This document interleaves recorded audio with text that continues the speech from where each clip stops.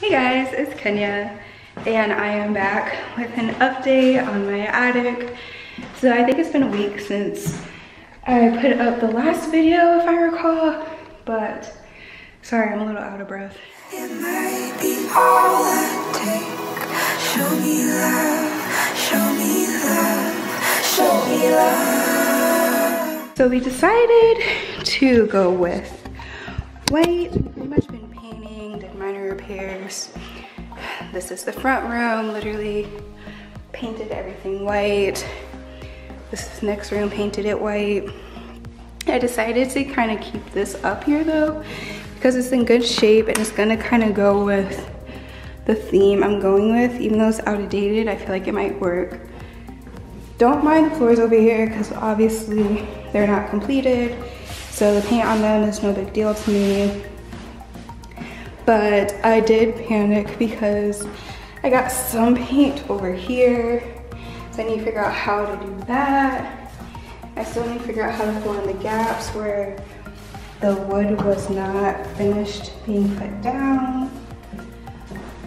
Um, this door too, I kind of regret painting it white. So I'm still trying to decide if I want to paint it a different color. But you know, white's definitely a good blank canvas to have. You know what I just noticed? I left this door open the other day, yesterday to dry, and now it's closed. Um, but today we are tackling this room. So what we're gonna do today, or what's on the agenda for today, is to do some repairs, um, pretty much clean it out, peel the floor up, minor um, installation type things. So that's what the goal is today. So we're not gonna be painting this room today, but just more so getting it prepared. So yeah, there's not much of an update besides that, but I just really wanted to come in and check in with you guys on the process.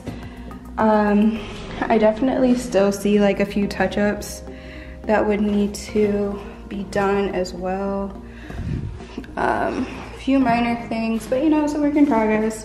We've been at this for like two days now, so we'll kind of see how it goes.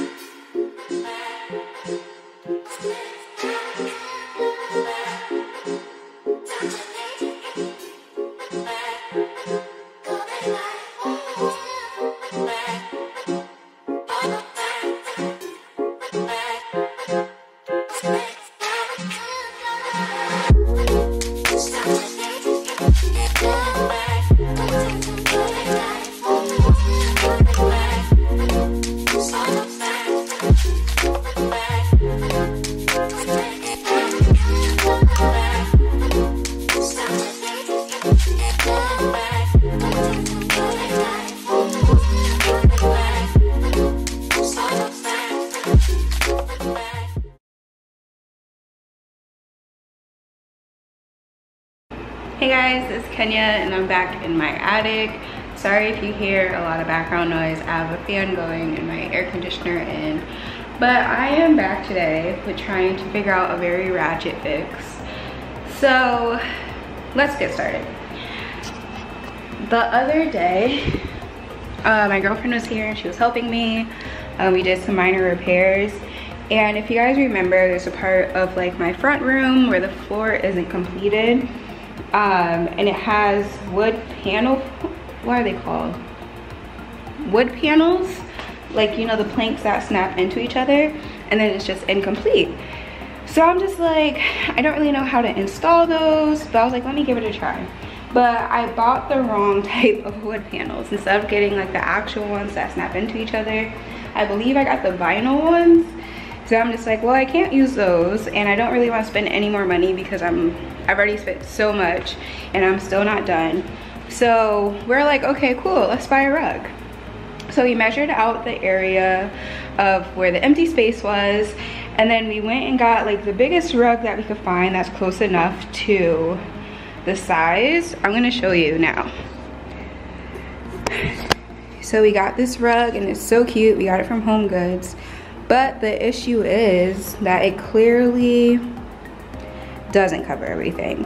And like in my mind, I was like, oh, it's fine because I'm gonna have my couch over here.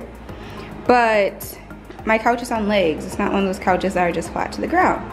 And you know, I have this underlay from when I was gonna put the wood, wood down and I also have the uh, Traffic Master under the rug.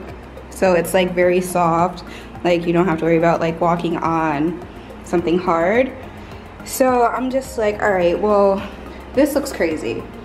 So I was thinking maybe I could, like since I have the padding and stuff, I could try to lay the panels. And granted, it's going to be a dip. I'm very much aware of that.